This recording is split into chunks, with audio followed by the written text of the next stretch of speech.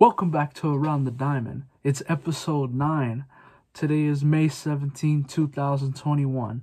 And on today's episode, we're going to discuss the major league debut of Jarred Kelenic of the Mariners.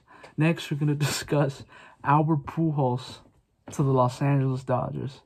And lastly, we're going to talk about what a fan told Nick Castellanos over the weekend that helped him hit a home run. Let's get into today's topics. The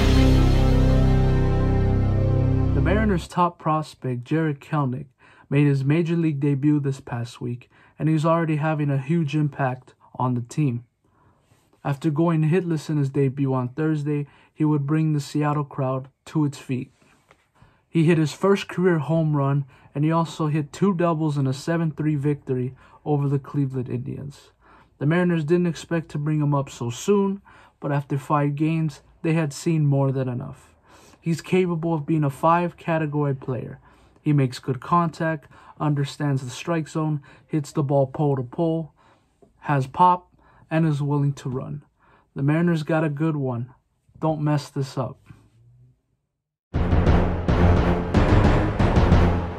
Albert Pujols won't have to drive far to continue his Hall of Fame career, as my Dodgers have agreed on a one year deal according to multiple sources.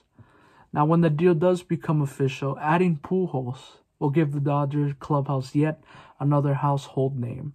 That's four former MVPs and three former Cy Young Award winners all on one team. This opportunity will continue to allow Pujols to try and chase more history, tack on a third World Series title, 29 home runs away from tying Alex Rodriguez for the fourth most in MLB history, and he's also 33 home runs away from number 700. It's not an obvious fit, but I think in the end, it could help both sides.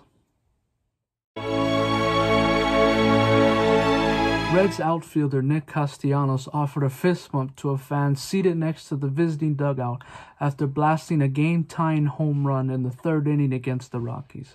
During his post game interview on the field, he handed the headset to the same fan to explain the celebration. Listen up. You're on live TV here now. What led up to the fist bump? So uh, I told Nick when he got up there that he should imagine that uh, Rob Manfred's face was on the baseball. And the next pitch, he lit it up over the fence, baby. Hey, whatever helps you hit the ball, man. Remember, Castellanos was suspended for two games early in the season for a bench clearing brawl that made absolutely no sense. Now, this is probably not going to go well with the commissioner, but I also think that players are going to start having that mindset a little bit more when they're at the plate. Thank you.